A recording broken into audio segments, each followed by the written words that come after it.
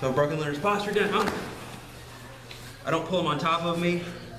Um, a lot of problem, problems I was seeing people have, they're pulling them on top of him and then trying to move. Um, you need to get it while he's coming down. So I've created my angle. His leg comes over the top. His hand's gonna reach under my knee, grab his shoulder. I'm kicking myself away from him by planting my foot on his hip. This leg's gonna come over. I'll lock my legs up. This hand leaves the shoulder, comes up, grabs my own shin.